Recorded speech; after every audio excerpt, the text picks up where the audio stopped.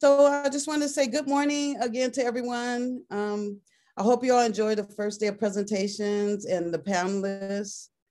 I, I want to I want to take up a lot of your time this morning. I would like to take a moment to thank you all for attending and for actively participating and engaging with us um, in this first annual symposium. I would also like for you to, to make sure that, and you'll hear this from several of us, that you take a moment to provide um, provide us with some feedback and questions that you may have that would, um, you know, in, increase our our ability to to meet the needs of the community um, for an administration um, for our next symposium. So please, please um, give us any suggestions you may have. Like yesterday, we have some wonderful speakers and a phenomenal panel discussion for you today. Today, we're going to spend some time um, intentionally speaking on the needs of, um, of female students. Um, and I'm, I'm using the word formerly incarcerated and or system impacted, but like Victoria reminded us yesterday is they would like to be considered um, just rising scholars. But just for the sake of our conversation, I'm just, I use that term. And before I move forward, I want all of you to take a moment um, to breathe. I would like you to think of a time where you were not your best. And we all, we're all human, so we've all had that time, right? Think about who was there to support you and to encourage you during that, that period or that moment or that season. I'm a, I'm a hoop junkie, so I use a lot of sports analogies, right? So I don't know about all of you, but um, I know that some of my biggest supporters were those I met um, during my college period of my life. Um, and a lot, and most of them were people that I met on the college campuses. From my basketball coach, Dave King, um, and, and I'm aging myself a little bit. I graduated in 87. I still call him twice a, twice a month, if not more. Um, he's like my father figure. To my teammates, um, particularly one of my best friends, um, Meg um, Sanders, um, who is now a coach at ASU, who I talk to almost on a weekly basis.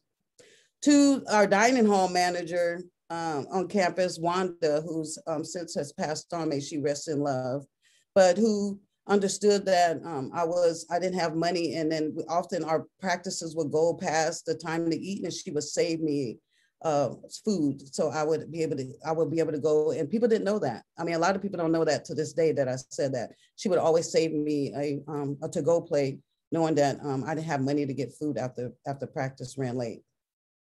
To my resident assistants, um, who's a RA in our dorm, um, Rebecca.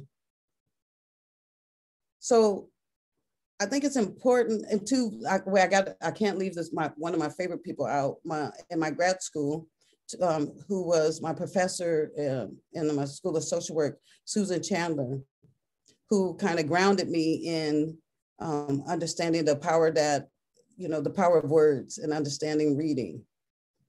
So I think it's important for all of us as educators to understand how impactful we are and can be to someone on campus.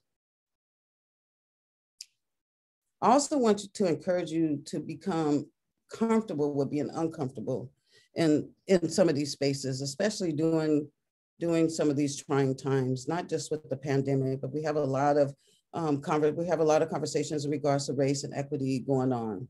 So it's okay to be uncomfortable with, you know, being comfortable with being uncomfortable. If some of you have time, watch on YouTube, Luvvie Ajayi.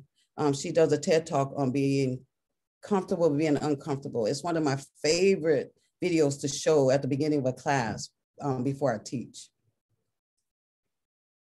To me, that is how um, the collective work begins.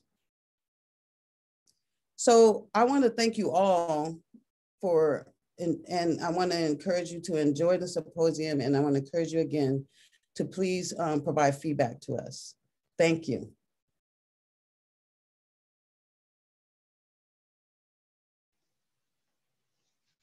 Thank you for that very powerful opening uh, remark, Dr. Little. Uh, you've given us a lot to think about and reflect. And I also want to encourage uh, the colleagues, the friends, the community members in the audience to Um, consider uh, joining in, Dr. Little, myself, and others, and reflecting on our experience over the past day and just our experience in general, um, especially with what Dr. Little laid out. Um, again, appreciate those thoughtful opening remarks. Um, I do have a, a couple of uh, things I want to share with uh, the audience, a couple reminders really. Um, I um, first want to give uh, gratitude and thanks to, to, the entire planning committee for the Rising Scholars Student Success Symposium. Um, a lot of work has gone into this event and um, forgive me if you heard this yesterday, but I understand we also have colleagues that are joining us uh, for the first time today. But we really planned uh, on doing this event last year, um, actually right, right before the pandemic, right after the pandemic happened. So um, really the planning for this symposium has been in the works for about two years now. And um, although we couldn't have this event in person, uh, we felt that it was critical um, given the, the experience, barriers, and uh, opportunities uh, concerning uh, carceral impacted and uh, formerly incarcerated students, we knew that it was just too far too important just to simply cancel um, this event. So I wanted to provide a little bit of context about the, the background of this event and also give credit to um, where it should be given. That, that is to my colleagues. Dr. Little uh, has just been uh, so instrumental in the uh, execution of this symposium and putting it together. And uh, I very much appreciate everyone for all that because that allows us to all engage in a learning space together to learn how to better serve and meet the needs of carceral impacted and formerly incarcerated students on, on campus. Um, I, am also very grateful and, and um, thankful that we are, Fresno City College is one of 50 colleges in the state. And um, as a lot of you know, there are 116, well, 117 now with Madera Community College, uh, the newest community college in the system. Um, so we're one of 50 community colleges to uh, receive funding through uh, a grant through the chancellor's office to operate the Rising Scholars Program. And like, like any grant, right, there, there's a sunset date. There's a timeline when that grant's gonna come to an end. Um, however, what I do wanna share with all of you that I have been working with um, several colleagues, um, including Dr. Pimentel uh, and Dr. Little alike, among others, to secure additional funding because we're having conversations about um, sustaining this program, right? Not just um, uh, using funding that has a, a, sunset date or a timeline that's going to finish. We want to make sure that the programs we create for carceral impacted and, and formerly incarcerated students isn't just a one-time thing, but it's something that is going to exist because we know that it's, it's necessary. We know that it provides transformational experiences, and that's something that we we intend and aim to do. So um, keep an eye out for that, for more information to come through college announcements, but that is something we are definitely focusing on. I also uh, want to um, emphasize the importance of what Dr. Little talked about. I, I know you all received either an email or um, a link in the sessions that you attended yesterday about the session and symposium surveys. Those are extremely important and I really can't oversize, overemphasize um, the, the importance of completing those. One, we extremely value your experience in this symposium, and we want to know um, what that looked like. Equally important, we want to know how we can improve this event next year because we certainly are going to have this event next year. We're going to do it again. This is the inaugural event. Um, but just like we want to sustain the Rising Scholars program, we also aim to sustain uh, I'm sorry, the, the program, we aim to sustain this symposium. So um, what better way to improve the way that we deliver and provide the symposium to, to colleagues and community members alike um, than getting your feedback. So please be sure to take the time to fill out that survey and uh, uh, be candid about your experience because that's one of the best ways that we can learn from you and how to improve the way we roll this out for the next year. So um, we very much appreciate that. I also want to remind everyone um, that there, there will be access to the uh, keynote and breakout session videos on our Fresno City College professional development YouTube channel. Um, it's, it's not available yet. Um, it's gonna take our professional develop office uh, some time to upload those videos. Um, I, I, thought it was a, a, simple matter of, hey, you drag something and upload it, but um, I found out it's, it's a lot more complicated than that. So with that being said, I also want to give a lot of gratitude and appreciation to my colleague, Susie Nitzel, um, who really has been behind the scenes. I know a lot of you haven't seen her or heard her much, but um, if it were not for Susie Nitzel, the reality is we would not be able to have this virtual format and we also wouldn't have a virtual format that is running so smoothly. We've had a little hiccups here and there naturally, right? But beyond those few hiccups, it's been been very, very smooth. So I just want to tip my hat off to Susie. Thank you so much for your help. Um, and again, uh, we'll have those uh, videos uploaded in the, the coming days or over the next week. Um, that's the goal. And I, I believe Susie will drop a link to our professional development YouTube channel for the college go ahead and click on that. You can save it or you can add it to your favorites in your your um, your browser of choice and you can access that later to see the, the videos. Um, I also want to encourage you to, um, to go to that YouTube channel once we upload the videos and watch and listen to breakout sessions that you didn't participate in. That's one of the beautiful things about um, the virtual format and having the YouTube platform is that it provides additional opportunities for, for learning and critical reflection. So uh, again, I do want to encourage you to do that.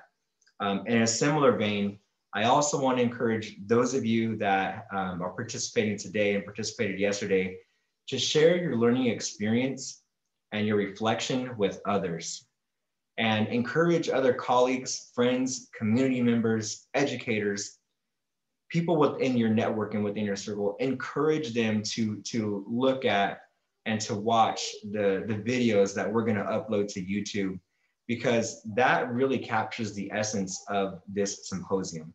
We're trying to provide learning opportunities for everyone to, to learn how to better serve and meet the needs of carceral impacted and formerly incarcerated students, right? And in part, in order to do so, that requires us to think critically about our own positions of power influence and agency that we all occupy and how we're using those factors to better meet the needs of formerly incarcerated students. And you have to contextualize the lived experiences of carceral impacted and formerly incarcerated students.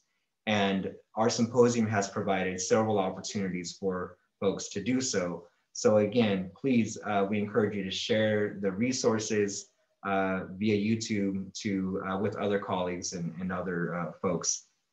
So um, now I'm gonna turn uh, the mic over to um, Victoria Rocha. Um, Victoria is one of our peer mentors in the Rising Scholars program. Um, she, wow, uh, she's amazing. Uh, she's a superstar, she's a rock star. And uh, with that, I get to turn it over to, to Victoria and it's all yours. Good morning, everyone. Thank you so much for joining us today for the second day and thank you for joining us yesterday. This morning, I have the pleasure of introducing Dr. Cassandra Little. Um, Dr. Little has her master's degree in social work, her PhD in counseling educational psychology, and was recently promoted to intern CEO of Fresno Metro Black Chamber of Commerce and Chamber Foundation. She believes that education is a pathway to intellectual and financial freedom Dr. Little is committed to supporting and advocating for formerly incarcerated and system impacted students. Her current research interest is focusing on how mass incarceration has impacted women and mothering. Um, Dr. Little has been a major influence in my life, a mentor, a supporter, an encourager. Um, she has taught me so much, and it, we are just honored to have her with us here today. Can you please join me in welcoming Dr. Cassandra Little?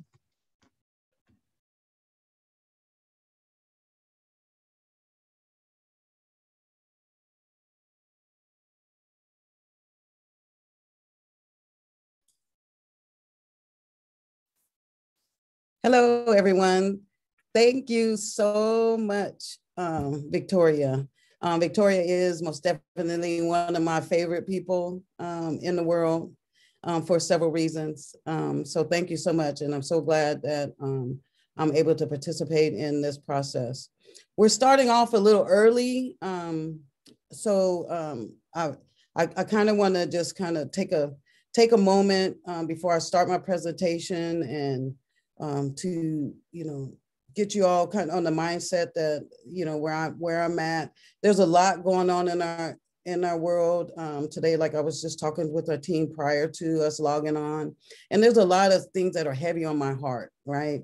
Um, and so um, I want to, you know, I just want us to kind of be conscious of what's what's going on um, in our world and and kind of the, uh, you know, just just know that you know, like I I know that there we can bring we can bring love and peace and and and some sanity to what you know to our to our spaces and and I know for me being a part of um, Fresno City College's the the student equity department has been pretty much at this phase of my life a, a big life-saving piece for me.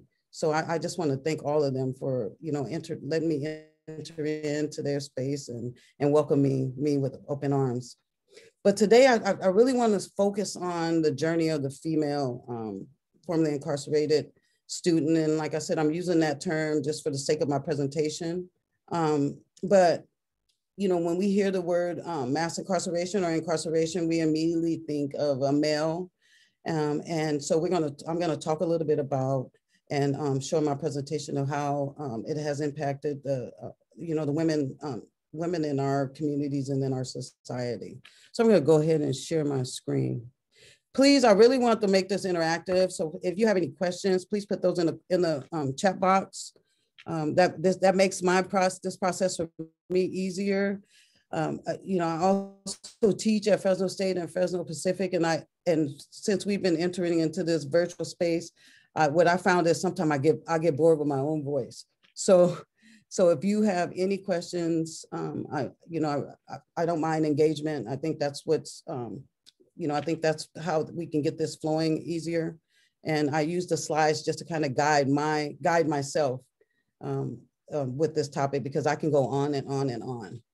Okay, so like I said, is that today we're going to focus on, I'm going to focus on um, the female student on campus and some of the some of the things, the issues and challenges that um, that um, they may be faced, they may have faced um, while incarcerated and what they face as they um, enter into back into their communities and families. Now I will not be able to do this this justice. It's there's um, I am I have written um, several several papers on the topic, and there's and each time I write on it, there's something else comes up. So um, the you know the challenges are multifaceted, and so I just just want you to understand that this is not all inclusive. Okay. Um, so we're going to, I'm going to give like a brief overview of um, the issues of incarceration, the intersection of female incarceration and trauma, um, impact of incarceration on mothering, which is um, one of my um, my my my interests right now, and and, uh, and then I'm going to take a little break. Um, I I couldn't decide if I was going to do some music or poem, but I wrote I'm going to read a little short poem just to break it up. And then I'm going to talk about what we're here for is the higher education and female student. And then just give like five action items and then we'll conclude. Okay. So, you know, I've introduced myself several times on Dr. Cassandra Little. Um, I, I, uh, what's interesting, I'm currently in the, um, at Fresno State in the Criminal Justice Department. I also teach at um, Fresno Pacific in the um, uh, social work department. And I, I have to I have to say I, I enjoy both. I, um, I, I love the teaching space. It's, um, it's, it's my, it's, I say my, my first passion tied with poetry and storytelling. And so I'm happy that, um, that's, that I have the ability to do that. So this seminar is intentionally focused on the impact of incarceration on women and how the experience intersects with the female student journey in higher education. Um, like I said, I'll briefly discuss mass incarceration because that in itself will take, that's like a, a long-term conversation. Reentry, formerly incarcerated women, mothering, economic equity, and education. And then, uh, you know, I will always ask myself a question prior to entering any um, presentation that I'm going to do, why is this topic important? And I say that we cannot embrace the and discuss student equity on campus, like I said before, without the discussions around the impact of mass incarceration on Black, Indigenous people, um, students of color, and I, I, I specifically say women, because a lot of times, like I said, women women are are we're the invisible topic. We're we're left out of those conversations. So I want to be intentional. The other thing, the first thing I like to talk about is language. You know, I know I, you know, I grew up with hearing sticking stones may break your bones, but words would never hurt you. But we know um, for sure that um, that that's not true. So language, and I think um, Danny talked about this yesterday in his keynote, um, is very essential and it's important because words can kill, words can give life. Um, as someone who loves to write, I know that um, they're either poison or fruit. So you, you choose. Um, and I know as a researcher, you know, as I read a lot of um, journals, the, you know, the language, um, uh, to me, some of that needs to change. And I know with my writing, I try to, I no try, I'm intentional about how um, the language and kind of changing some of the, the narratives that we place on and labels that we place on, um, on formerly incarcerated and system impacted um, community members. So I try to avoid using ex, ex felon, ex con, ex offender, ex prisoner, ex inmate. Now I know, and we've talked about this a lot um, within our, our, our group um, as we were organizing the symposium, that uh, you know some of the language is used and necessary um, because when you're writing a grant, um, and as a grant writer, you typically have to mirror their their language. So um, my goal is to um, work on to continue to change that, um, um, that language. So some of the phrases that you'll hear throughout, that you heard yesterday and you'll hear throughout today are, you know, persons or individuals, uh, just people um, with prior justice um, system involvement, uh, person or individuals previously incarcerated, persons or individuals with justice history or formerly incarcerated. So, and if you if you think about the tone, um, you know, it makes a difference. And so, when, if we're talking about language, I'm just going to be frank. A lot of times when I hear um, inmate or felon or ex-con, to me, it's the same as hearing the N-word. So it, it just means it resonates that deeply with me. Um, so I just wanted to um, take a moment and discuss that. But I think Danny did a great job of um, explaining that yesterday also. You, you also, and I try not to um, just assume people understand a lot of the terms that are used, um, especially on college campuses, because being someone on a college campus, we have our own language, and I understand that.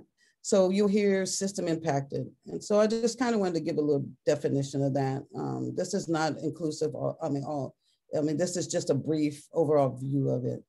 Is a person who is legally, economically, or familially affected in a negative way by the incarcerated um, of a close um, relative. System impacted also includes people who have been arrested or convicted without incarceration. Okay. So one of the things that has has has troubled me that why this is like a major major um, issue in my life is that mass incarceration in uh, in the United States we have the highest incarceration rate um, in the nation.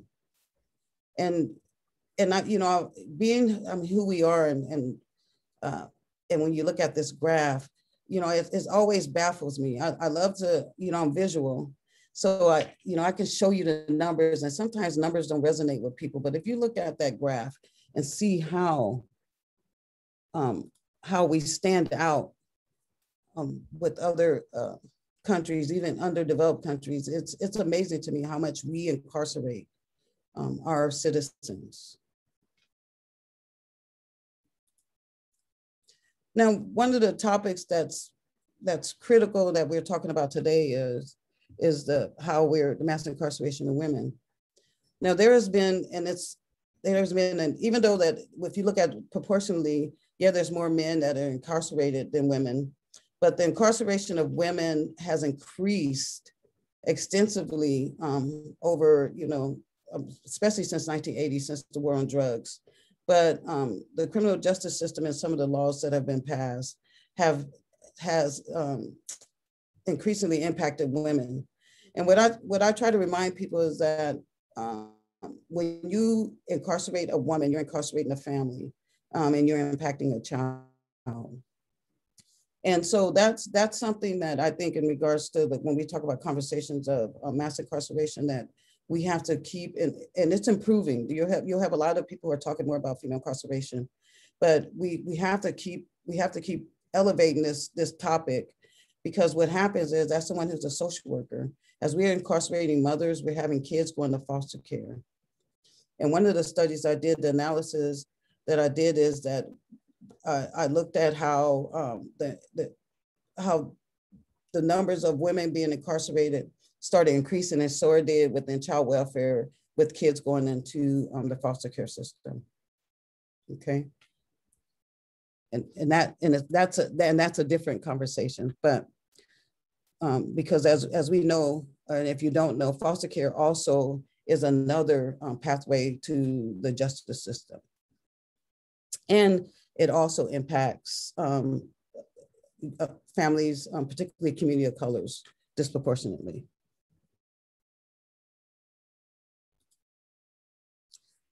So one of the other things I talk about, and like I said, this is brief, I'm not gonna do it justice, but there's a lot of research on the intersection of female incarceration and trauma. And, um, and so I just kind of want to give a, a brief um, discussion on, you know, uh, definition on trauma. And, and trauma is um, events um, include physical, psychological, and sexual abuse, terrorism and war, domestic violence, witnessing violence against others and accidents and natural disasters. They can result in serious stress and detrimental consequences for survivors and their family. So what many studies have found is that 86% or more of women are often incarcerated because of their experiences with trauma and domestic violence. Okay, and, and so that's, I mean, to me, that's that's that's really, that's an important statistic and that's an important place to start because um, for those of you who don't know about the criminal justice system, once women are entered into that, that system, they're re-traumatized over and over again.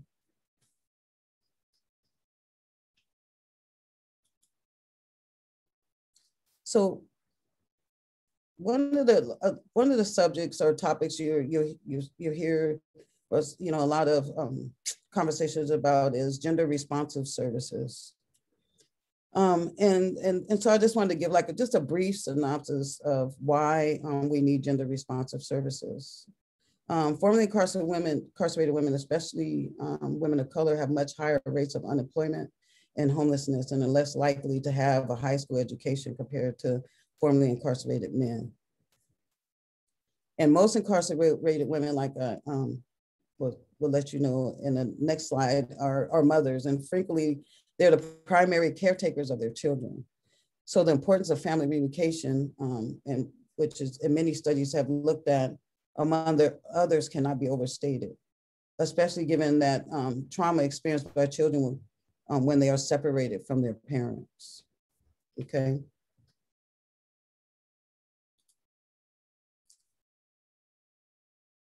So I'm going to talk a little bit about the impact of incarceration on mothering. So, and this is this study is uh, about uh, three years old, but over 60% of imprisoned women are, are mothers of children of the under the age of 18. And like I um, stated prior, um, when when mothers are um, incarcerated, you know, if, unless families step in, um, a lot of their kids end up in foster care. And once they're incarcerated, what happened with child welfare is that, um, you know, the court the court takes over, uh, the system takes over, and so the kids are still progressing through the system. So if you have a mother who has a, let's say she had to do four to six years, by the time her time is up, and, she's not able to fight um, using her um, parental rights, that child could have um, could use could have lost their um, that that parent could have lost their parental rights while they're incarcerated. Now, as a um, I spent a big part of my life as a social worker um, working in child welfare, And, um, and I worked with a lot of, lot of, um, majority of the youth I worked with were kids who parental rights were terminated. Um, and our goal and our hope is always that they'll be adopted, but um, majority of the time, is particularly for youth of color, this doesn't happen. So they end up growing up in um, foster care and just aging out of the system. Okay.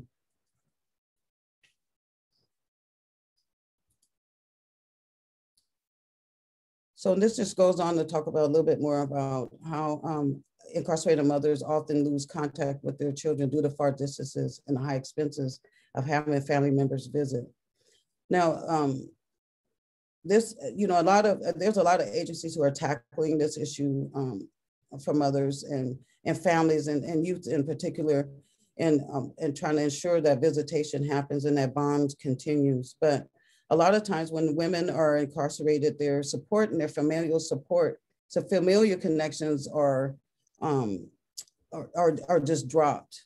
And it's, it's, it's different for, particularly for males. Um, uh, you know, the studies have shown that males receive a lot more um, support than females do for um, whatever reasons. A lot of it is, you know, sometimes parents expect more from the, the, the, the moms than they do from, from the, the, male, the male child. And, and so it's more of a disappointment. So there's a lot of disconnection or it's the other way around the the the mother feels a lot of shame and guilt and um, and kind of that that those relationships are severed. So a lot of times the the, the women don't get visits um, with their with their children as much as um, as men do. And also when men are incarcerated, the women are the ones who will you know make sure the visits happen with the kids. And so when it's the other way around, it doesn't um, it doesn't happen as much. And why is all that important? All that is important um, because um, what, what we know for a fact is at least 95% of the people who are, are um, incarcerated are going to be released at home at some point. So a lot of those women who are um, incarcerated and our mothers and parents, our aunts and sisters and daughters are going to come home, right? And and so um, reentry to me is an essential part of um, it's, it's, an essential part of what I what I I feel that as a community that we need to we need to focus on, knowing that 95% of um, of our um, community members are going to be coming home. We need to we need to create the space for female, especially the women that are incarcerated, to be reclaimed by our community. Um, we need to help them reclaim their space with their families and their kids. Um, and what we found is, um, uh, if you look at research, is higher education plays a big part in that, particularly community colleges, um, because like us, community colleges are easierly easier, easier to access. Um, um, and so they play a big role in um, reentry. That was one of the main reasons why I was so excited to partner with and collaborate with Fresno City College on, on reentry and, and, and kind of blending my two passions, which is reentry and education. Because like I said before, I do feel like education is, um, is, is a pathway to liberation um, in many ways. And so it's, it's a perfect marriage for um, women who um, system impacted. It has been um, empirically proven to decrease recidivism. Um, it's when you, with education um, on campus, and, and we've heard from the panel yesterday, and we'll hear from a panel of um, uh, young women today.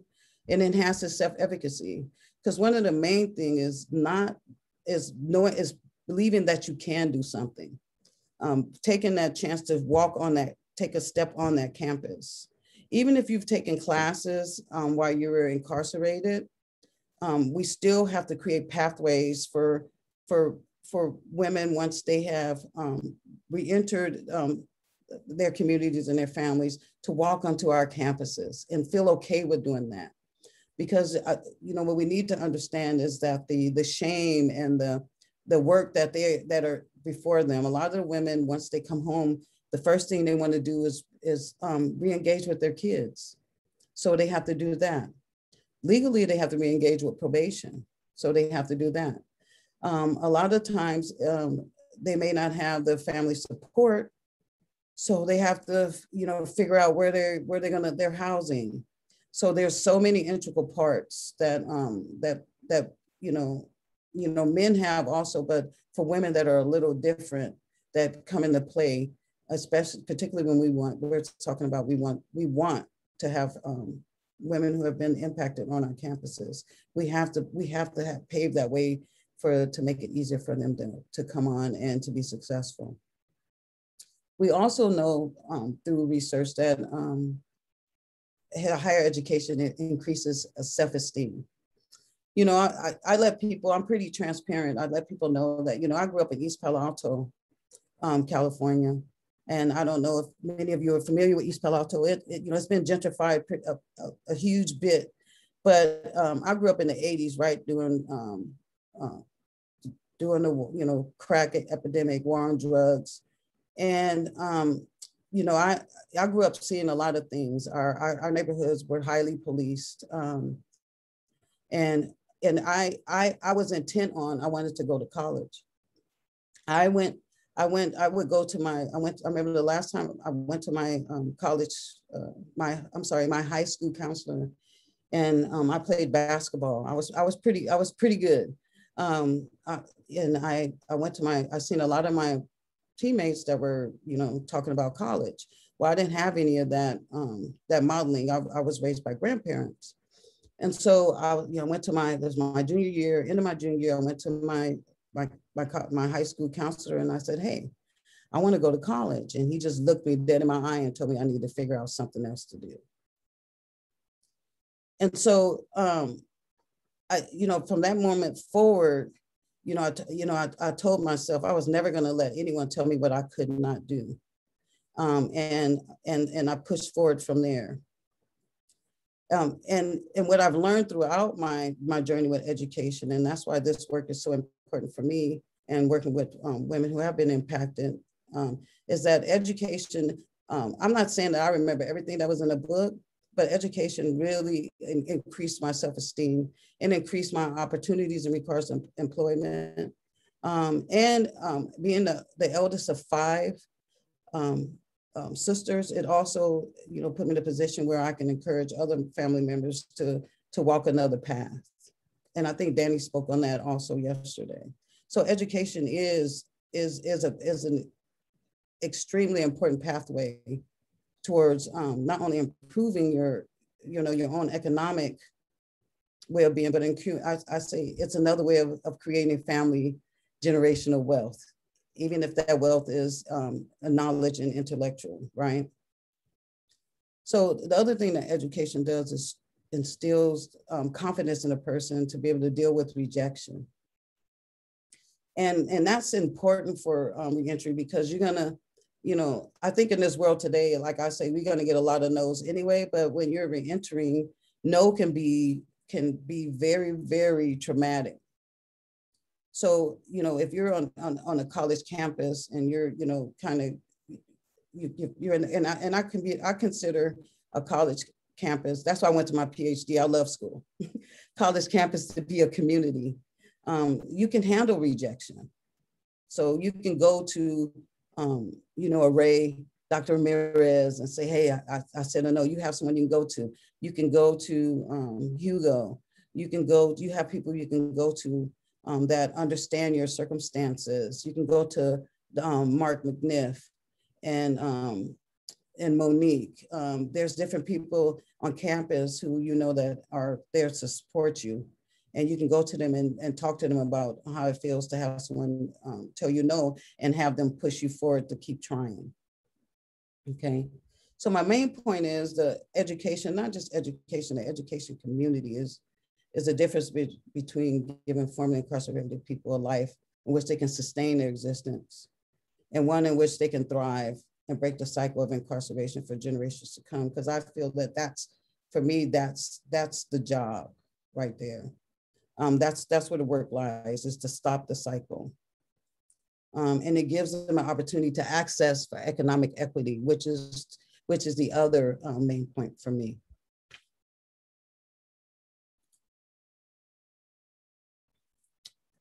So the, the another point is um, college, you know, should advocate for state sustainable funding streams to increase the quality of higher education for formerly incarcerated students. Now I know, you know, we we say that that's for every student, and and yes, I'm I, I am for that also. But today we're talking about system impacted students and students who have been impacted, um, and I think it's okay to be intentional. Um, I, like I said, I think that this this this issue when we talk about equity, um, and I've said, and I'll say it over and over again, and we're talking issues of race, we cannot talk about any of those without talking about the impact of incarceration and mass incarceration um, and systemic oppression, okay? Um, the, one of the other things is systemically dismantling discrimination in the college community. Now, I, you know, I've been, I've been a big part of um, the, the college community on both ends. Um, as a, as a student athlete, as a student, and now as a um, professor, um, as a mentor and, a, and as an advocate. And I just want us to know that we all, and, and it's okay, we all have a lot of work to do, and that's okay. Um, my thing is that's that's what we're here for. Um, the work we have a lot of work to do. The work is not done, and that's what our symposium is for. It's the it's a call to action. It's a call to let's let's do this work. And yet we're intentionally speaking about formerly incarcerated stu students because um, that's our call to action today. Um, but I think college campuses are one of the most empowering, um, especially the, particularly the community college because they're right in the middle of the community, hence community college. Um, um, we have we, we, we have the impetus to make such an impact on not just the, you know those who are um, right there you know, on our campuses, but we, we have tentacles. If we're if we're working with those individuals on our campuses, look our look at the Victorias, look at the Alexes. There's many more of them um, out there um, that we need to embrace and um, bring into our community, um, so that when when we release them out to the community, they're ready to do the work ongoing training and education of college personnel and staff on how to support formerly incarcerated students on college campuses. And so that's where we're starting with this. And um, and and I say that this with well intentions.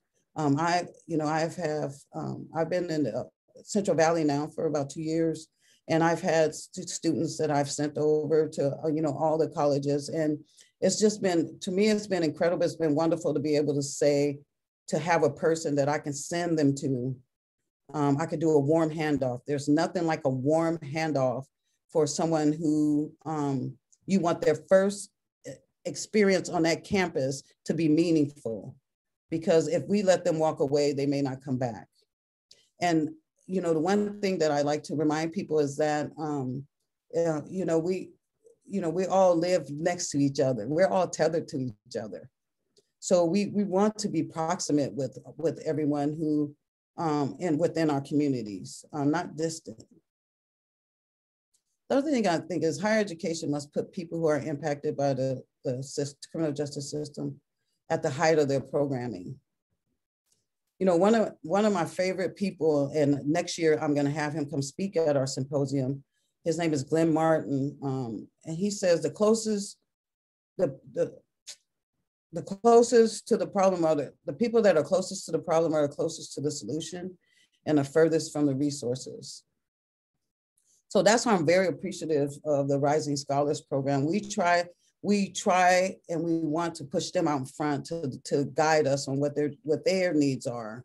And um, and then with the with the with the knowledge and the, the power we have as administrators and as the, the mentors to guide them to make sure that we can pave a path for them that's easier to gain um, gain their education and to you know do some of the things that they're wanting to do. The, you know, throughout my life, and I say I, I've had um, I'm I'm, fit, I'm about to be 57 here on April 20th, and uh, Uh, you know I the one thing, you know, I've, and I've had, uh, you know, uh, I say I've, I probably have like five books of a life, right? But the one thing that I can say that's true for me, um, that I would say to my dying days is that I have lost a lot of things. People can have taken a lot from me, but the one thing that they can never take away is my education. And I say it, I say it over and over again. My son hears it all the time. My family members hear all the time. You can, I can lose everything, but they, my, no one could ever take away from my education. And like Michelle Obama said, it's it is worth the investment. It has been worth the investment for me. So I, I only have five, but, but because I was like, you know,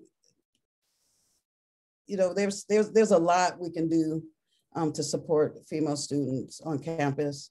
Um, and, and a lot of it is the, you know, I think it's it's great to have like one-on-one support for female students who are impacted. Um, and and that's for a lot of a lot of reasons. Um, you know, a lot a lot of women who have been impacted, like I said, they, they deal with, and I didn't go into a lot of that. They go to the shame of it. Um, a lot of women who are mothers, it's like you know, I was away from my kids, and explaining and telling your story over and over again is, um, you know, it can be troubling and trying trying within a group setting. So um, providing some of that. If you're if you're someone on campus and you have a student and um, that's a rising scholar and you have the time and the energy that this just you know mentor that student. The other thing that you know everyone has talked about is provide a warm handoff for community-based supports. I know within rising, rising scholars that's a that's a big part of what we're we're trying to um, to build um, on campus because what we know of with all of our students, and particularly with our students that are impacted, their lives their lives happen off campus. So we want some connection um, off campus, and so that's why I'm I pride myself on being a big part of um, Fresno City College um, campus and community, and um, working with um, the rising scholars when we're talking about financial support, we also, if we can, we can kind of, and I know that um, Fresno City is uh, has, has, started that, but um, we can keep talking about financial support for childcare and housing. And these are issues I know that are universal, but um, like I said, today we're, we're, intentionally speaking about students who have been impacted. Um, and then female system, system impacted um, support groups on campus. Yeah, we have a, um, we have the Rising Scholars group, but I think it's essential to have a group that's set, um, and that's for me this next year is to look at, that's one that's, you know, specifically geared towards the needs of women because the needs are different. And, and, you know, we just have, we have to acknowledge that a lot of our systems are structured to meet the, the male, the, the needs of males um, in crisis. And so um, that's something that I, I really want to um, work on for and talk a little bit more and do some research on in regards to um, college campuses. And another major um, thing that I say is hire system impacted personnel and mentors. Um, and, and, you know, and college campuses have come, especially in California, has come a long ways um, in this issue, but I, we, we still need to continue to talk about it. Um, I know this is one of the, um, one of the issues I'm gonna talk, continue to talk about with, with our chancellor and other administrators. I think it's essential for our students to have representation and to know that, hey, I can do that. Um, if they can do it, I can do it too. Um, and so we, we need to um, we need to encourage that and not be afraid of that.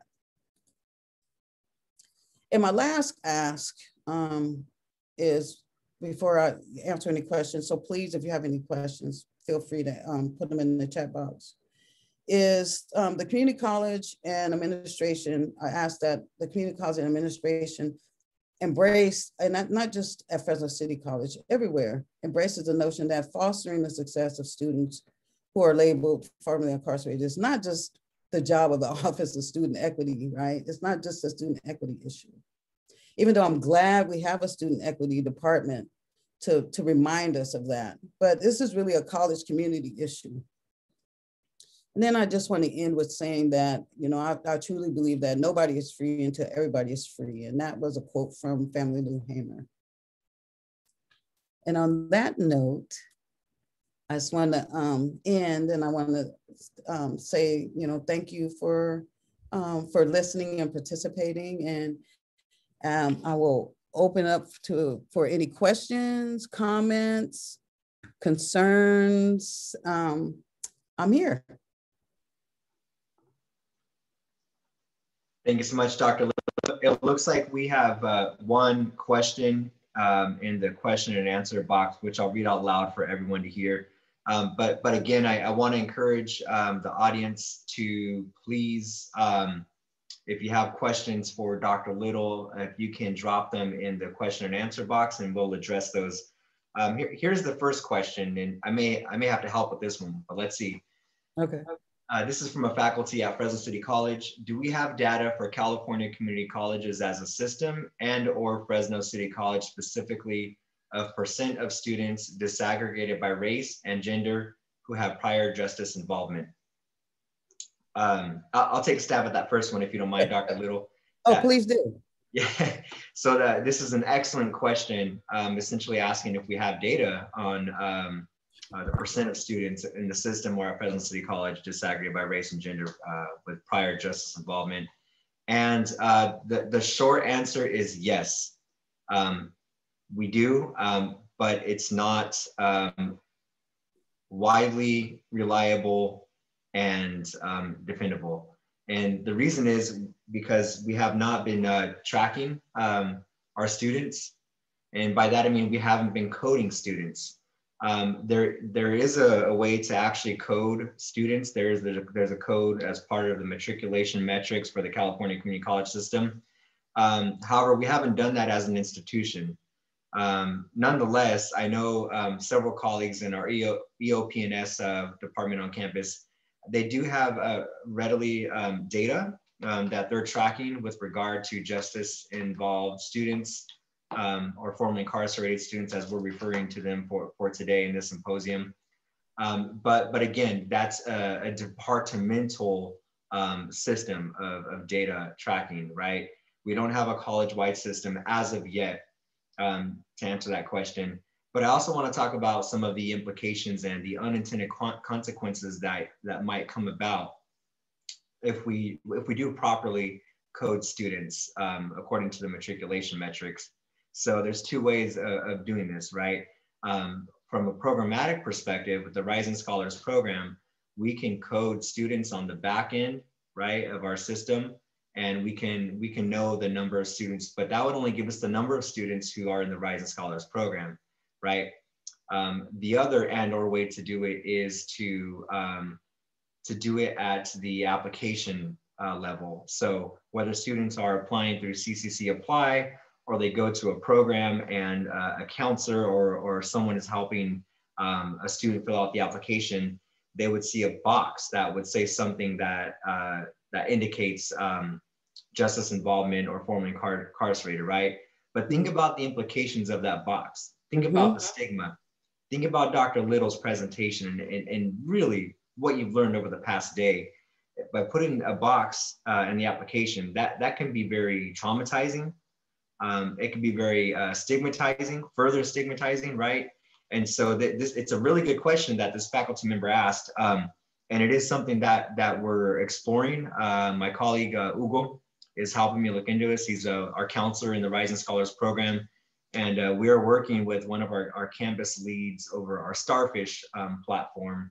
Kayla Mannon's helping us with that. But but even there, uh, we found out that it's going to require more more folks to be involved with the planning and discussion of how to not not properly code, mm-hmm. not properly, but how to morally, right? Yeah. How to morally code system impact and inform incarcerated students. Because I received an email from the chancellor's office, actually, full disclosure, um, about um, how to properly code, right? It's not about properly, right? It's not about, you know, a system, a tracking, a data input, output. No, it's how do we morally, right? How do we ethically and in a welcoming and inviting way um, code students? So uh, this is going to be an ongoing conversation um, that that my team and others are going to have. But Dr. Little, what I'd love to hear your thoughts to, um, about this oh. comment and my response. And you know, as you were talking about that, I was thinking because you know it's like we got to strategize about that. I was like, we may be able to find a way of like putting how we can add rising scholars in there and put a tone in there where people will be okay with, you know, owning that part of their story. Right. Uh, um, Ray, I forgot. I need to read the poem that I was going to read. Um, um, That's right. Yeah. Just reminded me. and it's called A Womanly si- a Smile. And it, and this poem is, like I said, it's to me, I, I put myself in a female space um, and in, in a mother space. And so this, this poem is called A Womanly Smile. Um, and it's for years and for centuries, we hidden our pain, tortured, abused, raped, and misused. Our matriarchs, our mothers are nurturing. Our sacrifices aren't honored until we're memorialized and are martyred. Our truths, our responsibilities, our struggles, our collective stories. We're seeing bars as walls, dividing our heart and caging our minds. We're mindful of our heroes, their ups and downs, and wondering how did they survive? They help us feel inspired. They connect us with love. They connect us with our essence. They connect us with our higher self. They connect us with who we are. And at the day, end of the day, a womanly smile can tell it all. So that poem for me uh, is written about the struggle. Um, and for me, in regards to the struggle of an incarcerated mother um, trying to get her way home to her, her, her kids, to her life. Okay, thank you. Are there any other questions, Susie? Thank you, Dr. Little. Uh-huh.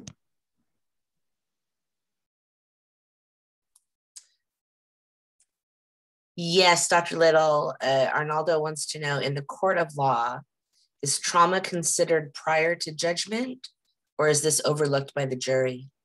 So that's a that's that's a that's a very good question. And so now when we talking about trauma, and, and, and I'm, I'm speaking particularly with um, in regards to women, you'll see, I say now that they're trying to talk more about the, the trauma that women has has uh, were in, in, regards to domestic violence prior to um, incarceration uh, will come up in trial, but it's not something that is readily looked by, at by the courts unless it's brought up, unless you have the money to have the defense to to make that a case, right? So, um, so it's not something that that people are looking at at, at a court of law. It's like an after the fact thing. You have researchers like myself that are talking about it, and other researchers that are talking about how trauma has um, huge implication on why women are becoming incarcerated. And what we know is that women incarceration, when I, the other point I didn't make, I didn't really make that point in this presentation, but um, you know, a lot of women incarceration has to do with survival crimes um, you know, so you know it's it'll be you know either they were protecting themselves if it was a you know a crime of, of violence, but they were particularly survival crimes to, to take care of themselves and their kids.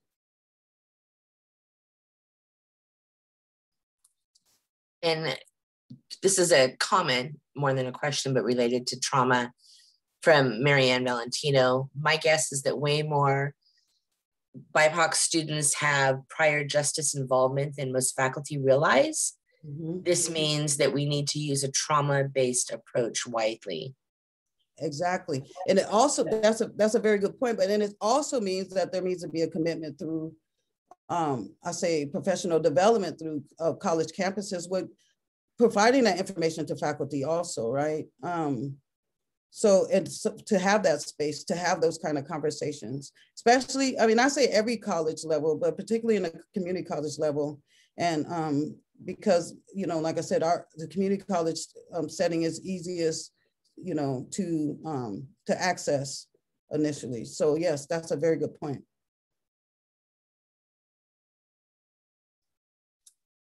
and arnaldo asks, what can we do to get more community colleges or the remaining 67 colleges involved with Rising Scholars?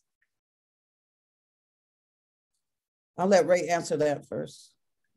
Thank you, Dr. Little. Uh, excellent question. It's a great question. Um, I, I, think um, there's a couple responses to that, that question. Um, first, um, you know, this was uh, a pilot, if you will, uh, something that has been championed by Chancellor Eloy Ortiz Oakley, um, who was with us yesterday morning. Uh, this has been a, a very uh, important undertaking of his office. But it's also something that has been supported by the state legislature, right? The legislature appropriated the funds for the chancellor's office to determine which 50 colleges to uh, receive those funds. So, um, you know, it, it, was a it was an application process. I know that, right? When there were only 50 slots. So what that tells me about the funding that each of the college, the, each of the 50 colleges received to operate the Rising Scholars programs is uh, funding is limited, right? Um, nonetheless, what I have heard is that you know um, it is possible that there is going to be a, a second round of uh, um, RFAs or uh, requests for applications um, for continued funding for support for the Rising Scholars programs. Um, I'm not sure if that's for the existing 50 uh, already established programs or additional colleges, but I, I, think it is a great question that I, I don't have a definitive answer to. Um, and that's something I think that uh, should be really staple at each college, right? Just like just like uh, there is a student equity policy, right? We have legislation that requires community colleges to maintain a three-year student equity plan as a condition for receiving any funding, state funding, right? Any funding whatsoever, right? Um, so one, one way from a policy perspective to ensure that uh, colleges are, are focused on the rising scholars is to um, to include some stipulation in the equity policy, uh, given the, the relationship between uh, equity and Rising Scholars, right? Uh, that includes the Rising Scholars program. So um, that, that's one way I think to, to further um, enhance and impact the Rising Scholars programs across the community colleges in the system. And I say continue conversations of symposiums, um, forums like this. Um, the, the one thing is you know, kind of eliminating the stigma. You know, one of my favorite people, Dr. Taylor, and all her presentations, you know, and I learned this from her, so I copied it, is she would ask people, you know, if they knew someone or, you know, or had someone who had been impacted. And over 50% of the people will raise their hand in every space that I've been in. And so, and so we know that this is impactful. This is going on in our communities. So kind of breaking the taboo um, with the conversations are essential. And so I know, you know, for us, this is this is this is a major way of starting that conversation. Um, and and to get the other part is getting the not only just to have the students tell their story because you know that like I said after a while that gets that starts traumatizing and traumatizing it over and over again, but to you know start also sharing their successes to show how important programs like Rising Scholars are for um, you know helping them store and um, increasing their um, their access to employment, um, even moving on to you know four-year colleges and, and beyond. Um, we have to start um, we have to start the conversations there. And and and what like my friend just said, Jennifer, uh, to provide additional funds is important. We and we and we can't say that enough. You can't do it without the dollars. You know, it's hard to do the work. Dr. Little, that's the end of the written questions, but I'd like to try something if you don't mind. Sure. I want to enable the raised hand feature. Sure. And then P, sometimes people, a question is hard to, I know for me, a question is hard to type. Yes. I'd rather ask it. So I have enabled the raise hand feature for our audience. Okay. And if you have a question you'd like to ask live, just raise your hand and I will, um, what Zoom calls allow you to talk. Sorry, Zoom's words, not mine. And then you can ask Dr. Little or Dr. Ramirez your questions directly. So if you have any questions, just go ahead and raise your hand. There's a little raise hand button icon at the bottom of your Zoom controls. I work with a lot of you. I know you're not shy. Here we go. Arnaldo. Arnaldo, go ahead. Uh, just to follow up on the Rising Scholars programs in the additional community colleges. If there is a uh, community college who is uh, or that are interested in uh, being part of the Rising Scholars or adopting the program on their campus, who would they reach out to now, or how would they start looking into that? When does do the uh, the governor when does he start distributing his funds, if you will? I think that another great question. Um, you know, I would say that almost every college has um, uh, an equity department or an equity office. In fact, most colleges have uh, a vice president or, or, dean of equity, and um, the, the, names tend to vary. You know, uh, dean of equity and inclusion, dean of, of equity and um, diversity. There's there's various things, but nonetheless, the equity leaders. Um, almost every community college has an equity leader and or a department, and so I, I think that that's uh, one place to start because uh, the equity leaders across our, our community colleges, they if, if they don't have the direct answer about how to facilitate such a, a program and process on their campus, um, uh, they will know who to connect the student um, uh, and or community with, right? It could be a colleague in student services and or instruction, but um, I, I, definitely would say to, to look up and look for um, the, the college equity leader and department. Okay, thank you. Thank you for that.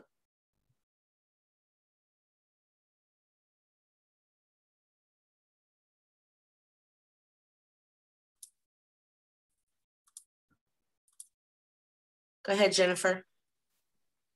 Hi, uh, Dr. Little. This is Jennifer Hi. Leahy. Hi, it is really great to hear you speak. And I uh, want to start by saying thank you for uh, bringing voice to the women. Um, you know, four to 5% of the prison population, and, and, we often go unnoticed and forgotten. And so I, I want to commend you for specifically pointing out that equity requires sometimes for us to um, be specific and intentional. Yeah. And yeah. Um, to that point, for programs that are trying to support formerly incarcerated individuals, what do you think is the most important thing, whether it's a program or or just individuals on a campus? Um, so not necessarily a, a program like Project Rebound or Rising Scholars, but maybe programs like Career Development Center or SSD or any other program on campus. Um, to what do you think is the most important thing for them to keep in mind in terms of differentiating between services for women and services for men? Well, because most of the programs being designed you know for men mm-hmm. um, what is intentional what what what should we keep in mind intentionally in trying to service women? That's a that's a very good um, question jennifer and, and you know on, on campuses we struggle with that a lot. And i you know for me, I when I when I think women and, and it's not universal, I always think of you know children. They you know they have families, so time time time. You know, a lot of college campuses close. You know, services are over at five sometimes, but um, so I, I think keeping in mind that you know we have a lot of parents um, who are who are you know women who are who, who have come home and and so keeping that in mind and understanding that um, um, and having representation also, um, having some uh, female staff, you know, involved to engage with them because a lot of times if it's, you know, is and if you if you do if you and we're talking about trauma and um and women, it's it's important to have um, you know other other women that um, that the you know that the, the the female student can can be able to engage with and engage with you know feeling safe um, for whatever reason.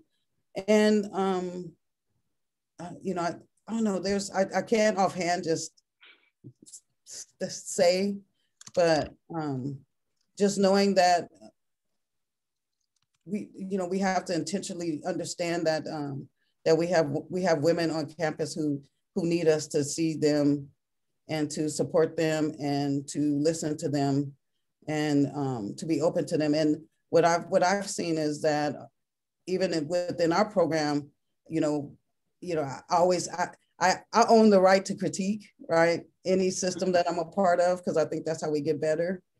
Uh, a, a lot of times the, you know, the females start taking the lead and take on too much. And so then, you know, other parts of their lives, you know, fail, you know, start falling because women want to, to um, women want to uh, please and they want to, you know, they want to do the best they can. So I think we also need to keep in mind and, and help women, uh, the women that are, you know, home, coming home and that are students find balance. Critical. Yeah, that's yes. very critical. Yeah, yes, thank you. Yeah. That I that was exactly what I was looking for. Yeah, I think that's incredible. So thank you. Yes. Um, I just I just wanted to mention that we need to not forget the trans women and trans men and non-binary. For sure. Most definitely. And and that is also an intentional um, conversation that needs to happen. Um, um for and on I mean on all men of so many levels. Absolutely. Um, so so thank you for that.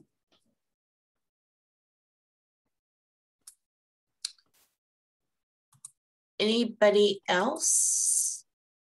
Also, maybe you have a question and you're uncertain about asking it because you feel it's inappropriate or you feel like maybe you don't know enough. So I've also enabled in the Q&A the ability to ask your question anonymously.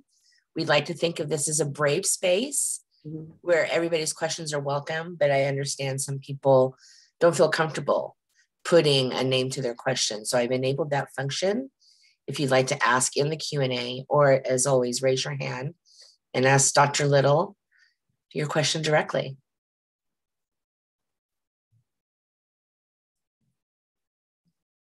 And I don't, I look as a, and as an educator, I don't feel like there's a bad question. I mean, it's, uh, any, I'd rather for someone to ask than not ask and assume. So while they're gathering their thoughts, Dr. Little, I know if uh, my colleague Monique Reno is here, who's doing oh, a yes. presentation later on in the day, uh, yes. she would ask, how do we how do we deal with or how do we go about changing? Ed Code currently says that uh, it does not allow the hiring of those people with uh, serious or violent felons. And I know that's an issue at Fresno City College with our rising scholars. So we want to help them, right, move past, but we won't, we're not allowed to hire them because of ed code. What steps can we take to start making changes for this? And Casey Taylor is also doing a session mm-hmm. later on on navigating barriers to uh, reentry, and I'm sure she she'll touch on that. But since we have you here, yes. Well, I think so. One of the other critical um, things for me, um, not only just in education, but I think in any any part of our lives, because like I said, um, impacted and formerly incarcerated students' lives happen on campus as well as off campus is policy. Um, so I I think I think with when we when we talk about some of the policies, if we have a policy that says that you can hire, so I you can educate me and you cannot turn around and hire me, that's a problem. That's a policy issue. And what I know about policy is that policies can be challenged and changed, right? So, um, uh, so, so I say that that's something that if we, um, if, if, if we, if that, that's something that as, as you know, rising scholars as we, as we, as we move on and we look at what is important for the students that are engaged in that program, that's a policy that we definitely need to demand a change for. Because what we know historically is that change won't happen unless you demand it. And so, um, and so yeah, you, you have Casey Taylor, who's incredible. Um, and there's a lot of other um, um, legal advocates that can help facilitate some of, you know, some of those conversations. And how do we address that? But California is a good space to start that. Um, I have to say, I came from Nevada, and and um, the, and, and um, California has been a, a, good space to be able to challenge and you know and start making changes on some of these policies that are creating a lot of collateral consequences for people. So people want to say, okay, you know, it's your past, leave it behind, but every step you take, it's right there um, structurally. Um, so, so those are things we have to address. Um, the School of Social Work. I'm a social worker. Um, School of Social Work, uh, you know, is a, is a big issue. Is uh, I, I, create different placements for students right now because if they're impacted, um, you know, uh, certain places they can't get their, they can't go and get their experiential treat, um, like that's discriminatory. And the profession is missing out on some incredible, phenomenal human beings. Well, our Q&A has filled up, so that's exciting. Similar to our trans allies, are there identified individuals on campus for our justice students that may not necessarily be rising scholars? Ray? Read, read that again, uh, if you could, Susie, the last part. Similar to our trans allies, are there identified individuals on campus for our justice students that may not necessarily be rising scholars? I'm not sure if I'm, I'm getting that question. Uh, let me look at it.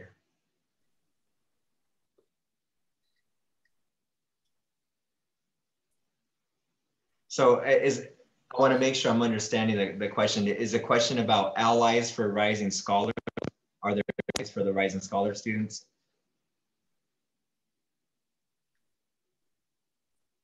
So the anonymous attendee who posted the question, you can comment on your own question to give us a little bit more clarification if you'd like. Yeah, so if, I, so if I'm understanding uh, correctly, um, are, are there um, allies on campus that aren't necessarily um, carceral impacted or formerly incarcerated? I think that's the question. And, and if it is, I hope, hope I'm understanding. If not, please just correct me and let me know. If, but if I'm understanding the question correctly, yes, um, there are. Um, there, there are there are colleagues, there are faculty, um, there are classified professionals and administrators um, and students as well who are allies. Um, do we have uh, an official bona fide ally program on campus? No, we don't. Um, and we've, we've been intentional. It, it's really a, a, network, it's a community. Um, and, and, those allies know uh, who each other is. Um, I can't say that categorically, um, but your question, it also makes me think about the, the work, more of the work that we have to do, uh, right, Dr. Little, and, yes. and, making sure that our students know who those allies are. And um, there, there are a lot, there are a lot. Um, I was pleasantly surprised to see how many allies are on campus when we first got the grant and started the Rising um, Scholar programs almost two years ago. Um, we, we have several people on campus, um, but this is something that should be identifiable. This is, this is something that the students should know about, know who they can contact. Um, so you're giving me a lot to think about, um, anonymous attendee, and I very much appreciate it. And G had a question in the Q&A, but I'm going to uh, let him ask it uh, live. G, should be able to unmute.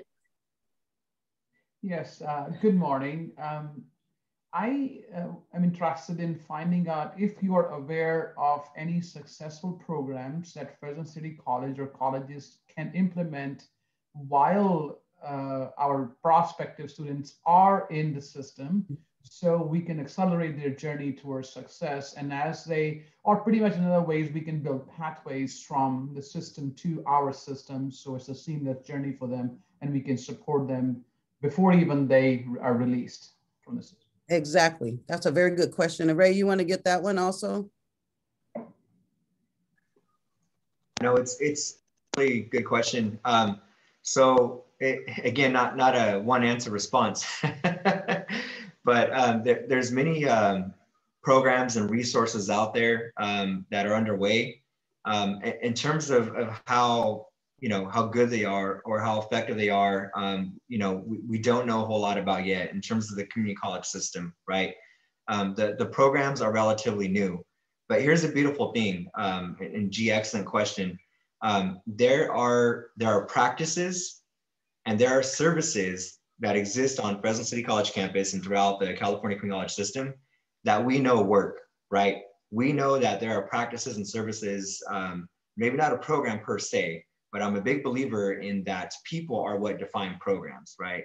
It's not the program that's going to facilitate the success of minoritized and marginalized communities, it's the people, right? And so we have services and practices we know that work um, and I'll give a shout out to Mark McNiff. Um, many of you on this call and this uh, and this symposium are familiar with uh, Mark McNiff, great colleague. Um, but he he engages in practices um, that are validating, that are um, um, welcoming and inviting for systems impacted and formerly incarcerated students. And he's known for doing that work in the community among the students.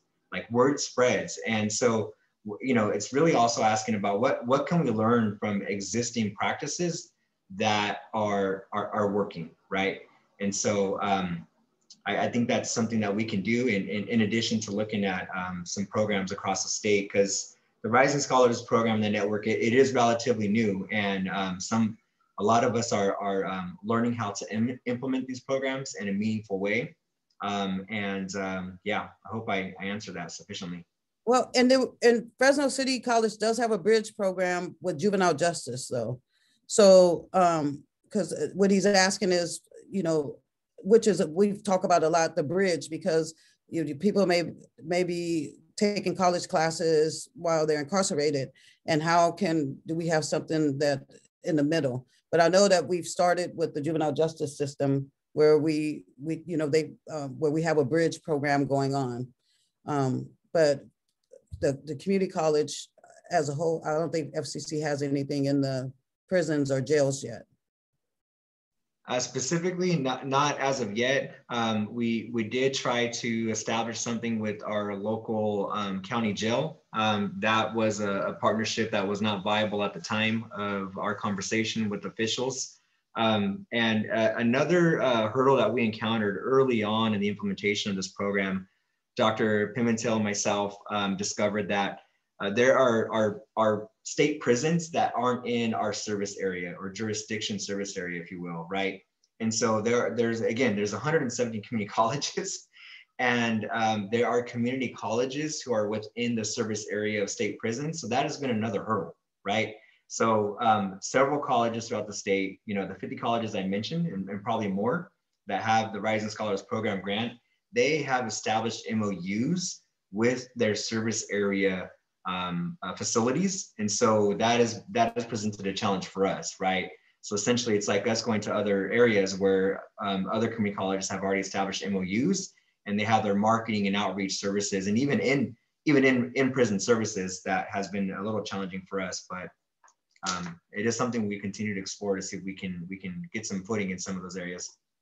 Yeah, because that's and that's I think that's essential um, with individuals that I've worked with who are who have who were taking college courses while they were incarcerated. That's there's a big gap because the technology is different.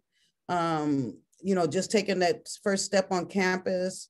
Um, so having that bridge would be um, essential. I, I, am not sure, but I think um, Project Rebound, I'm not sure if Jennifer can weigh in on that, but I'm not sure if they do something on their level, but I think that's really important. That's what, that's, I think that's the biggest gap.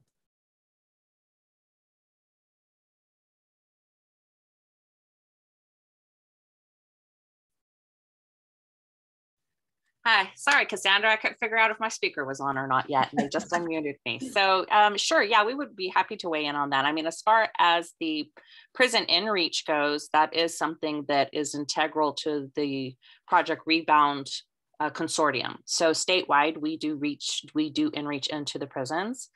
Um, I know it's a little different with the community colleges. Like, for example, here in the Central Valley at Valley State Prison and CCWF, I know Merced Community College has the contract to go in and provide face to face college instruction. They also have a rising scholar at their community college. Um, but we have students that aren't necessarily paroling to that area. We have students that parole and come home and, and come to Fresno City. So that's why uh, Project Rebound has uh, been intentional about reaching into the prisons and doing in reach into the prisons specifically so that we can work with our local community colleges and i, and I think that's um, goes towards what arnold was asking about other community colleges in this area so if we have a student that's paroling down towards uh, Porterville or College of Sequoias or West Hills, another community college. I mean, we have such an amazing, fantastic working relationship with Fresno City um, we would also like to help other community colleges develop that same level of um, service to students paroling into their areas. And um, so uh, we do work uh, and do a lot of in reach into the prisons. And one of the things that we do is make students aware of the community colleges in, in their paroling area because regardless of where they're housed in prison, they may be going anywhere else in the state. And so um, because uh, well, I think as Rising Scholars develops into a more statewide um, program, which looks like you know the state of California is really pushing to get that developed with with a lot of um, nonprofit help yeah. and assistance. Um, but it looks like we're finally moving in that direction. And I think once that happens and it becomes a more solidified state program, uh, that that we'll see a lot more presence of, of individuals from the um, community colleges represented in prison in reach. Mm-hmm. And of course, Project Rebound is always happy once they do allow us to go back into the prisons uh, to bring students with us. And so um, yeah, we'll definitely be working with uh, community college students as well as, as Fresno State students to, to do that in reach. Thank you, Jennifer. And Jennifer, you had a question in the Q&A. Would you like to ask that also? Oh, sure. Um, so I just wanted to uh, have you comment on, I know in my own work, uh, for those of you who don't know, I'm program director for Project Rebound and uh, at Fresno State. And so I have, in my role, encountered on occasion naysayers that suggest that we don't belong on campuses and silly stuff like that. In my personal opinion, silly stuff like that. But mm-hmm. but it is a reality that we do encounter naysayers at times that suggest that. Um, incarcerated education should not be happening and these types of programs should not be state funded um, and so I would just like you to weigh in on how you personally deal with that type of negativity when you encounter it so that you can assist other people on campus and give them some tools to work with in terms of how they might respond to people um, that don't directly support our programs. You go first, Ray. I'll go second. Thank you. Uh, Jennifer, uh, th thank you for being here. It's uh, virtually see you. Um, excellent question. Um, so the short answer is yes. I, I encounter um, uh, resistance, if you will, uh, frequently. In fact, it's it's the nature of my work. Um, you know, uh, as the director of equity and student success at Fresno City College, um, I have been advocating for racial equity um, and anti-racism for for quite some time now. And in that work, I have encountered resistance along the way. But what I've also encountered along the way is a tremendous amount of support um, and a tremendous amount of um, leadership and, and backing from administrators, classified professionals, um, faculty, and community members alike. In a similar way, I've experienced the same thing with the Rising Scholars Program. And did we encounter resistance when we first received the Rising Scholars Program grant? Absolutely, yes. It is the nature of interrupting and disrupting forms of oppression, racism, and marginalization. It is the nature of the work, right? Um, but what has been helpful, what has been helpful is trying to work towards a critical mass, getting the, the right amount of colleagues, community members alike to rally behind this work, right? And support the work. That has what has sustained the effort, right? And so, yes, we've encountered resistance. And one thing that works well um, in my experience too with with that resistance, right? Um, I, I, learned this, um, you know, not right away in doing this work, and and that has um, helped me a lot. And that is calling people in versus calling people out, mm-hmm. right? Um, in, in the beginning, it was easy for me to call people out, right? but what I have learned is I've learned how to, to empathetically, regardless of their experience and how different it may be from mine or the work that I am trying to promote for our college and community, I call people into the conversation and I want to know what, what, what are the dispositions of, of your resistance without saying that directly, right?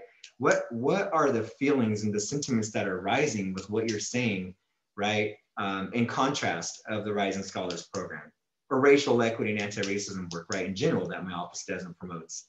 So yes, we encounter it uh, constantly, um, and it's part of the work. Um, but you know, it, as important as that question is, I, I, would I would also just you know uh, invite us to think about focusing on um, the critical mass, right?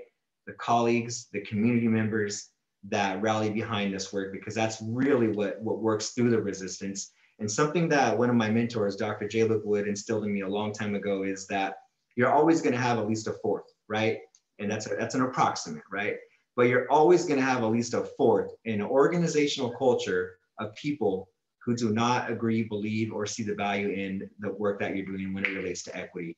And so instead of focusing on that approximate fourth of people, who, for whatever reason, will not be engaged with the work or be interested, right?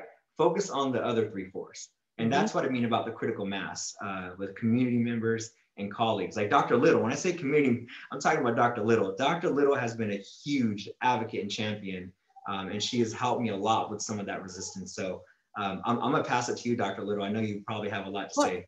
Uh, well, and you said a big piece of it is the uh, focus on the. I don't focus on the on the that that quarter of the people who I'm not gonna. I don't go into changing people's minds. I'm just that's just not the thing that I do. Um, but um, I do try to impact people's heart.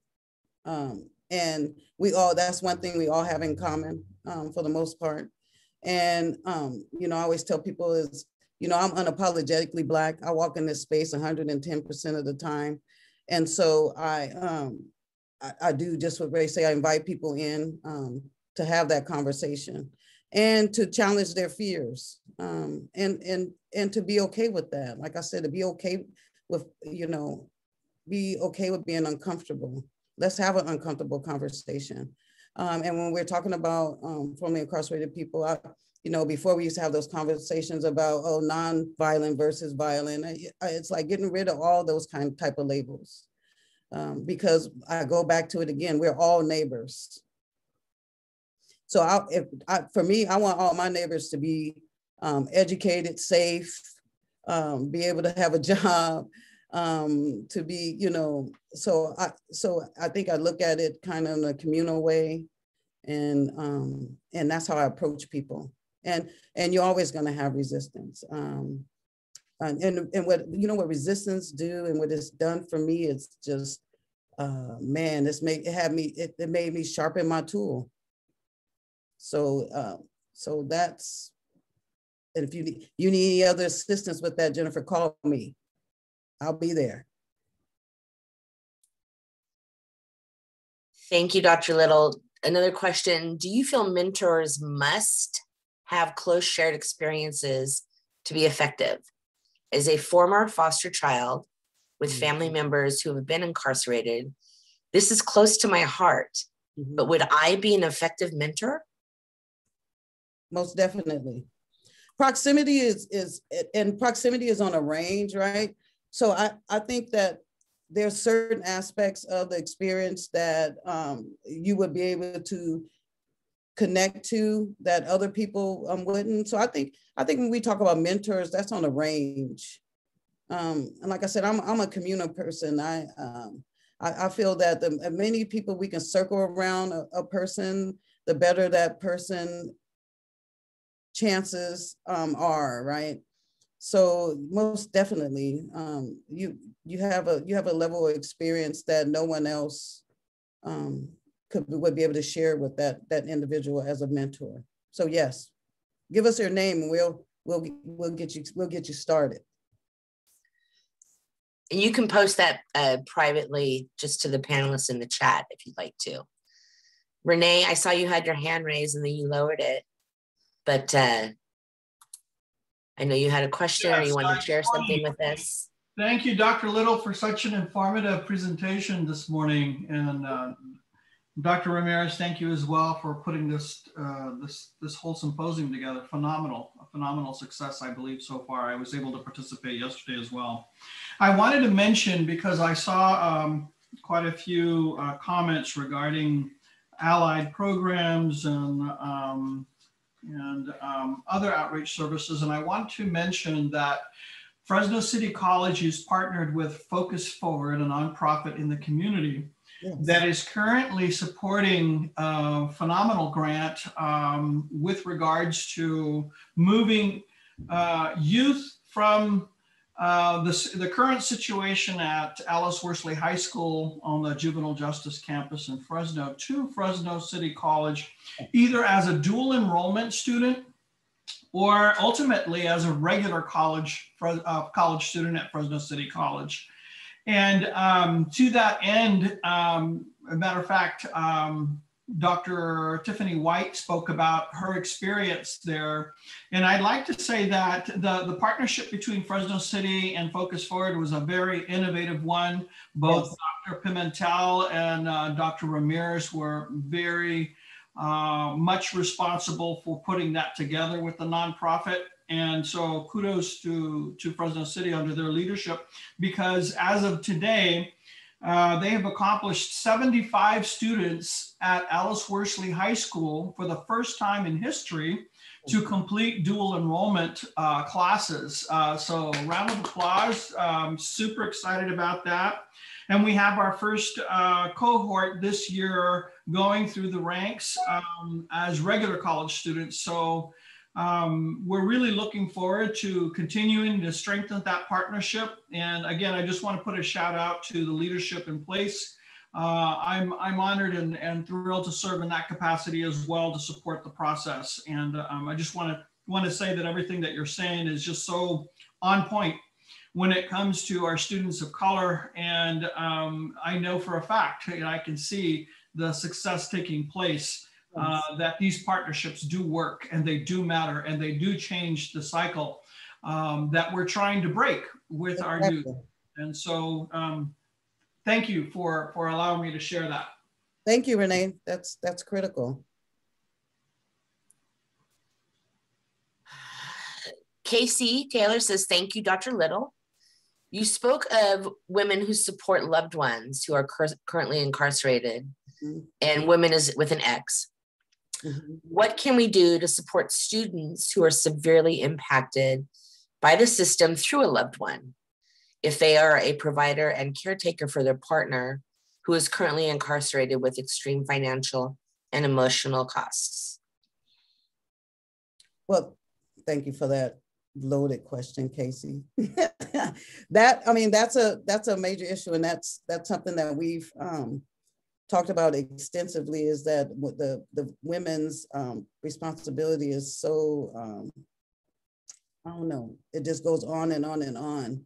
And, and that's one of the, the places I think, especially on the, particularly on the community, I'm saying Fresno City College, is that we have to keep in mind that the, that they, they are, when we say impacted, that's why we stretched our, our definition um, for rising scholars. We, we had a conversation about that, that is not just um, students who have been um, incarcerated, but also who have been system impacted, who are taking care of people who are um, who are incarcerated because as we know, the cost um, is extensive. You, you got to pay for phone calls if you want to continue the relationships with, um, you know, a, a, loved one who's in there. You got a um, commissary, um, all, you know, just ongoing um, visitation the all the costs are intense. So I think if I think we have to keep in mind to create some type of um, funding to help those students meet those needs also when we're when we're talking about um, supports for women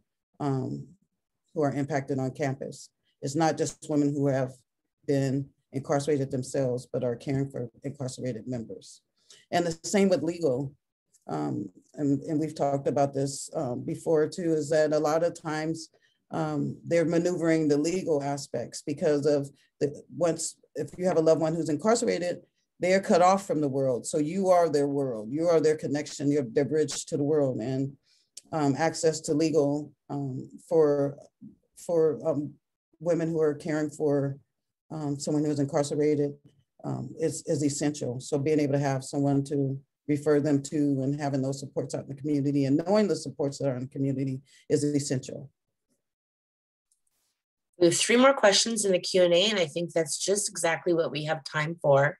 Okay. Tabitha, one of our deans says, early in the earlier in the presentation, you mentioned 60% of women in prison have children under the age of 18. Heartbreaking. Mm-hmm. Are there local organizations that support these women and children? What are the most crucial physical and emotional needs for the women, children, and their families? Oh gosh, that's a big question. I may have need a little bit of help here, but um, in regards to local organizations, yes, there's there are local there are local organizations that, um, you know, help that you know their their goal is to help women who are, um, in families, but you know I I want you know I want to say that a lot of those are fund, you know, grant funded. And what we know is that when grants are gone out, they're gone. So there's not I don't want I and someone can tell me if I'm wrong, but there's not a lot of programs that that is their main focus and um, they're intentional about it. And so that, you know, that that part is challenging. And what was the second part of that question, Susie? What are the most crucial physical and emotional needs? Um, needs. Well, if you have a, if it's a, a parent that is incarcerated, I, I say visitations um, with with their children when that's possible. Um, now I don't know, like in regards to Central Valley, I have to I have to say I don't know um, what kind of services are out there, but I know um, nationally there's been a there's a push for making sure that um, kids there's organizations that make sure kids have access to visitations. They will take them to visit their parents um, so that those relationships stay in place. I think for women that are incarcerated, that's essential. That's their main. The, the parenting, you don't stop being a parent once you're incarcerated um, actually that need intensifies, right? So, um, so I, I, say that that keeping that bond is is critical. Um, once while they're incarcerated, and once they reenter, just having that having the um, the ability, the easy way to reunify. You know, I, I, like I said, I was part of the child welfare system for a long time, and it's a tough. That's that system is just as tough as the criminal justice system. Like I said, I reserve the right to critique um, I've been a part of both of them um, because, and my critique is just so I want them to be better. Um, is that um, a lot of systems with that that are female focused can be very abusive and dismissive, and um, and so it's a you know it's a it's it's really a we got to find a better way to help mothers and, and their kids reunify um, when when at all possible and make that make that transition a little easier for both parties right? And for our community. Thank you. And I posted in the chat, if anybody in the room, there's 68 of you out there, knows of any support to share with it, all of us, please go ahead and drop those resources in the chat. I'll be sharing the chat along with the recording. Yeah. Uh, another question, typically admissions or office staff are the first points of contact when people are inquiring about entering college. Aside from events like this, what other steps are being taken to inform and educate office staff to be sensitive to the needs of formerly incarcerated individuals? And I just want to say, Marianne Valentino has posted that we are doing our RAM racial equity labs, and this will specifically be addressed in those. But Dr. Little or Dr. Ramirez, if you could. Ray, yeah, I'll let you handle that one. Yeah, that and that um, that was about the RAM Racial Equity Lab. Is that what you were saying, Susie? Marianne said RAM Racial Equity Labs will address this, but this person wants to know what other steps are being taken to inform and educate office staff to be sensitive to the needs of our rising scholars. Yeah, excellent question. So um, certainly the symposium is, is one effort to um, inform classified professionals, faculty, administrators, right, on how to work with and better meet the needs of carceral impacted and formerly incarcerated students. But um, this is just a, one symposium. And uh, to Marianne's point, um, we have what's called the RAM Racial um, Equity Lab. And um, that is a, it's really a, um, an off, a spin-off of our original interdisciplinary faculty equity lab. And in those RAM Racial Equity Labs, um, I forget what the number is, correct me if I'm wrong, Marianne, but we're gonna have approximately 150 to 160 faculty, classified professionals, and administrators that are gonna go through a semester long training next fall and spring, intensive training um, that centers equity mindedness, uh, racial equity, and anti-racism. And to Dr. Little's point yesterday morning and today, campuses can't have a conversation about equity without first considering the intersecting identities of formerly incarcerated people on campus, right? And so that's something that's going to be um, a topic and discussion I, I, know will be in, in um, Marianne's um, facilitation of the RAM Racial Equity Lab. Dr. Marianne Valentino is our, our lead faculty facilitator for those RAM Racial Equity Labs, but um, it doesn't stop there. Um, we had some conversations in our Equity Leadership Academy um, which was a, a six month, um, which is, we're in it right now, it's a six month intensive um, uh, learning experience for every administrator at Fresno City College to learn how to lead for racial equity and promote equity mindedness across the campus. And, and remembering that what Dr. Little touched on, you can't talk about equity and, and, and exclude system impact and informed incarcerated people into the conversation. And although we had some conversations and some breakout sessions in those equity leadership academies, it wasn't a central focus. So what does that mean? Yes, we certainly have more work to do um, we've made some inroads in, in, getting the message out there, but um, we, we have a lot more work to do. And that's the beautiful thing about this work is it's ongoing. It is ongoing and ongoing. And, and I'll stop at that. I think there's a couple other people who wanted to talk. Marianne, did you want to add anything to that?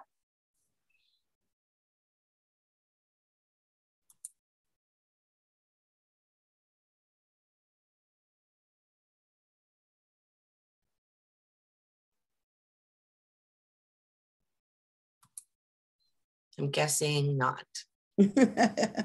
oh, I thought I had unmuted myself. Oh, that's why I was like, I wonder if she's muted. yeah, I thought I pressed that button.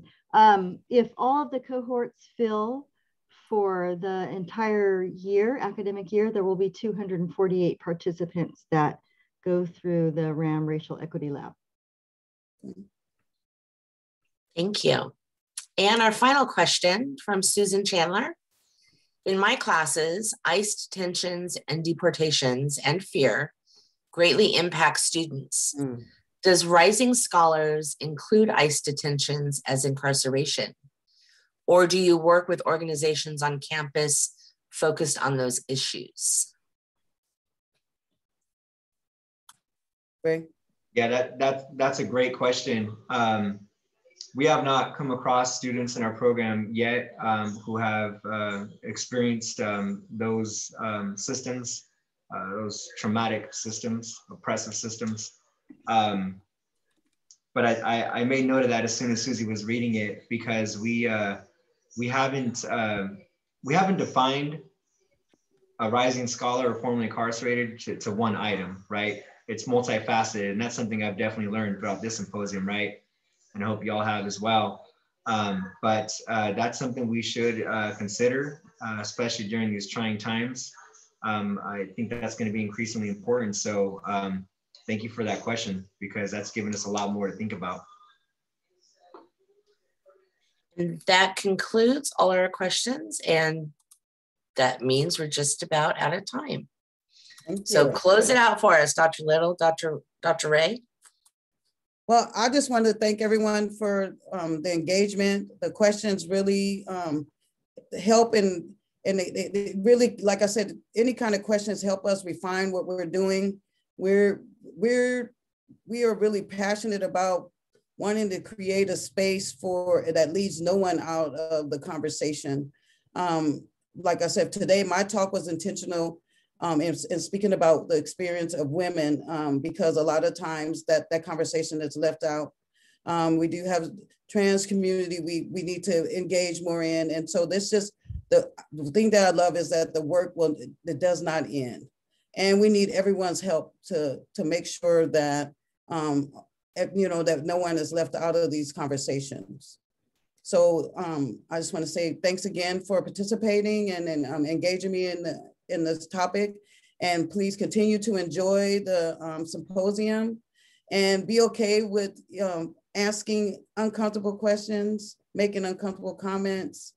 And um, thank you. And we'll, we'll see you again at the end.